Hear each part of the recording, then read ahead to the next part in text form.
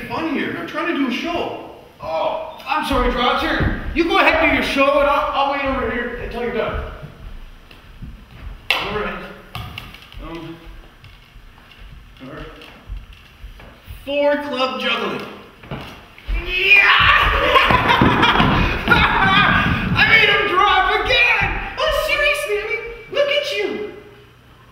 You don't have any stripes on. Everyone in the circus wears stripes. Your nose is blue. Uh, everyone knows that clowns have red noses, not blue. And look at your hair. She looks like she has a moth on her head. you know what? You don't belong up here. You know what? And I'm sure you don't belong in the audience. I don't think you belong anywhere. you need to go. Go about it. You know, I'm not doing anything. You know what? I'm not juggling even. It's- you know what? As long as he's being mean, nobody pay any attention. All right? I hear sometimes people they're just looking for attention. If you give to them, they keep acting that way. And and that's why they act like a bully. Bully?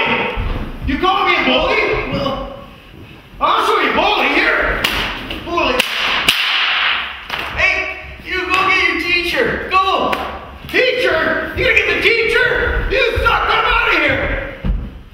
Anyone here think that I'm a suck because I asked for some help? What else are you gonna do? If I fought with him, it would make it worse.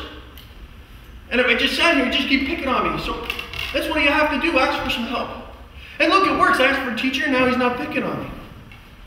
So from now on, what I want everyone here to do, if, if you know somebody who's being bullied or, or you're being bullied, or you even just hear about some bullying, what I want you to do is you tell someone you trust, your, your parents, a teacher, the principal, tell someone who cares about you, and they'll help you out.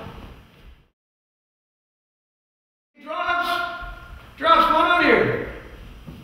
Hi, Drops. Uh, no, it's okay. I wanted, I wanted to say I'm sorry that I was mean to you, and I won't do it anymore.